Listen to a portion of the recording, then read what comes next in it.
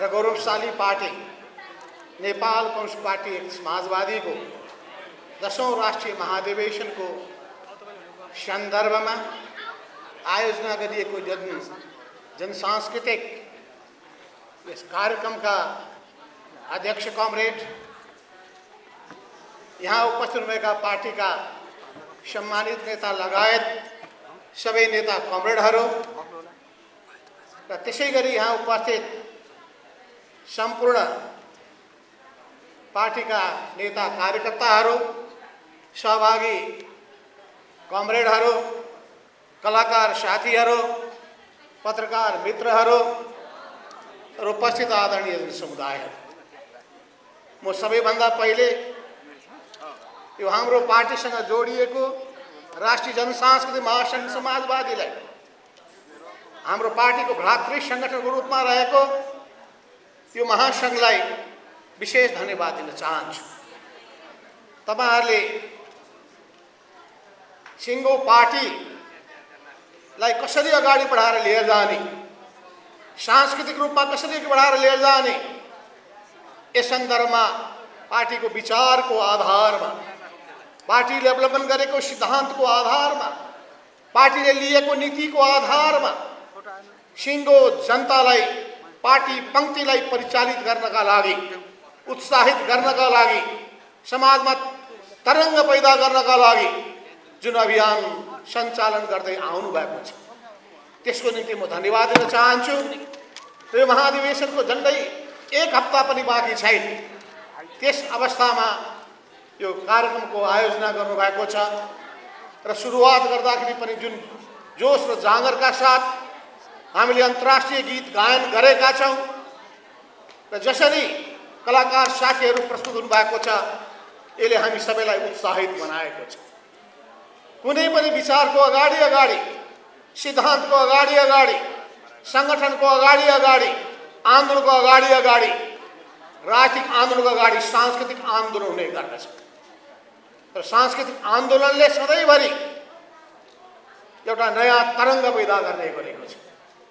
दुई हज़ार छत्तीस साल को आंदोलन को कुरा गरौँ या दुई हज़ार छयालिस सालको आन्दोलनको कुरा गरौँ बासठी त्रिसठीको जनक्रान्तिको कुरा गरौँ यो सन्दर्भमा हामीले देख्ने गरेका छौँ कि सांस्कृतिक हाम्रो अभियानले जनतामा नयाँ किसिमको उत्साह पैदा गर्ने आकर्षण पैदा गर्ने काम गरेको छ त्यस हुनाले तपाईँहरूको विशेष जिम्मेवारी हामी यो समाजलाई रूपान्तरण गर्न चाहन्छौँ समाजवादी दिशामा जान चाहन्छौँ।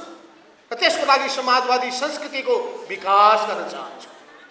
पुँजीवादी संस्कृतिका विरुद्धमा समाजमा रहेका सबै विकृति र विसङ्गतिका विरुद्धमा व्यक्तिहरूमा रहेको व्यक्तिवाददेखि लिएर चरम महत्वाकाङ्क्षादेखि लिएर अनेकौँ खालका त्यस्ता गलत प्रवृत्तिका विरुद्धमा हामी नयाँ सांस्कृतिक जागरण पैदा गर्न चाहन्छौँ।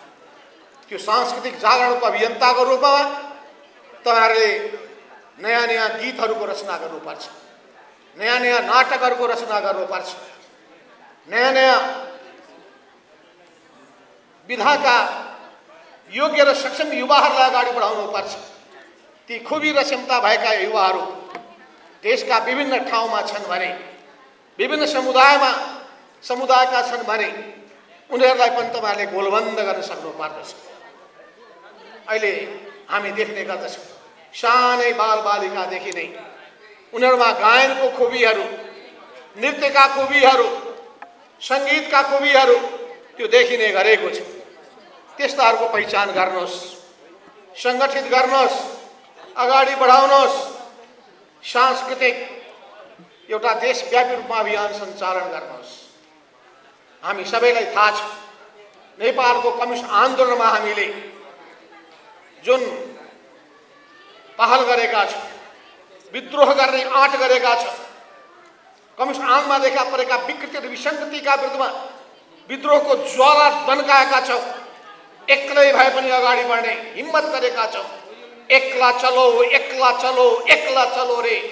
भन्दै हामी जसरी अगाडि बढ्यौँ हाम्रो साथमा देशभरिका नेता र कार्यकर्ताहरू जुट्दै जुट्दै सतहत्तरै जिल्लामा सङ्गठन विस्तार गर्दै पालिका पालिकामा वडा वडामा हामी पार्टीको सङ्गठनहरू जनसङ्गठनहरू निर्माण गर्दै अगाडि बढेका छौँ। त्यसो हुनाले हाम्रो पार्टीप्रति हामीले हाम्रो पार्टीले खेलेको भूमिकाप्रति हामीले राष्ट्रिय राजनीतिमा हामीले निर्वाह गरेको भूमिकाप्रति हामीले गौरव बोध गर्नुपर्दछ। निराशालाई हटाउनु पर्दछ आशावादबाट ओतप्रोत हुनुपर्दछ। निराशालाई चिर्न सक्यौँ भने आशावादी हुन सक्यौँ भने अरूलाई पनि आशावादी बनाउन सक्यौँ भने गर्न नसकिने केही पनि छैन। राष्ट्रिय राजनीतिका सबै शक्तिहरूलाई राम्ररी चिनेका छौँ। अन्तर्राष्ट्रिय राजनीतिका पनि प्रत्येक प्रत्येक शक्तिहरूलाई हामीले बुझेका छौँ।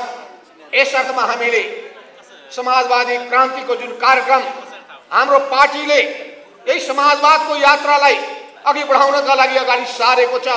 निसन्देह अरू पार्टीले यसरी व्यवस्थित कार्यक्रम ल्याएका छैन यस अर्थमा हाम्रो पार्टी त्यसको अगुवा हो।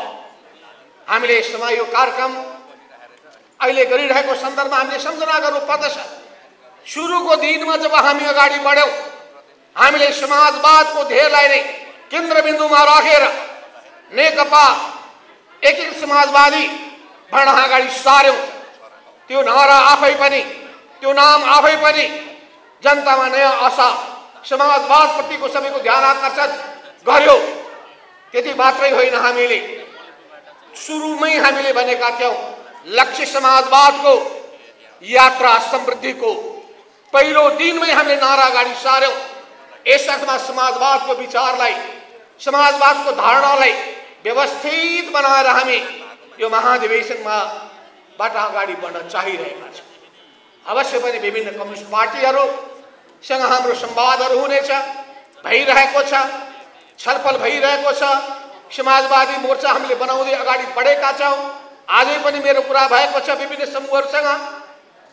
हामीले नयाँ सिरा मात्रलाई अगाडि बढाउने कोसिस गर्नेछौँ। हामी मात्रै होइन देशभरिका परिवर्तनकामीहरूलाई देशभक्तहरूलाई क्रान्तिकारीहरूलाई गोलबन्द करना का हामीले पहल कर आवश्यकता